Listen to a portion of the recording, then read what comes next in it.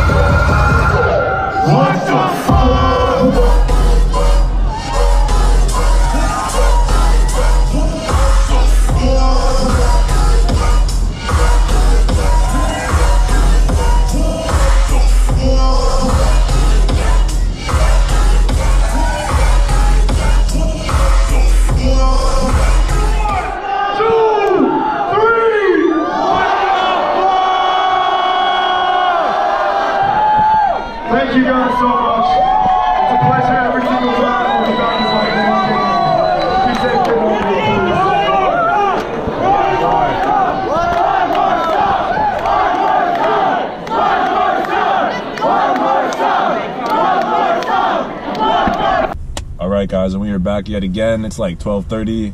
We are in Brooklyn, back at the car. Herobust was a success. I was super bummed coming here on the way, but I got in. I saw a whole Herobust up pretty much for about an hour. I saw a bunch of homies out there. Saw a bunch of finesse gang that recognized me. I saw my fucking homie from high school that I haven't seen in mad long. Know, shout out Kevin. And literally haven't seen him since high school. And I used to see him every fucking day, which is crazy.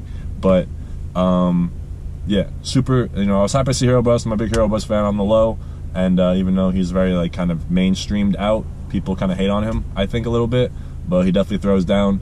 Brooklyn Steel, I approve. It wasn't as full there. People were pretty worried that I heard only like 300 tickets or so or something like that. My friends were saying it was kind of dead, but I got there, had a good time. The pit was fucking huge, wide open, so I had a bunch of room to womp around, and uh, saw a bunch of homies, a bunch of people from some of my homie from high school I hadn't seen since high school, so that was crazy. Shout out Kevin. And uh, yeah, just a bunch of good people out there, a bunch of finesse gang, people taking videos of me and shit. Like it's it's cool. Finally, people taking videos of me. I can see myself doing what I do, and it's cool. So you guys will see this vlog soon, and I will see you guys throughout the week for some more. I have a bunch of videos I'm sitting on still. I will see you guys throughout the week for more festival related and dubstep related content, and then we'll see you next weekend for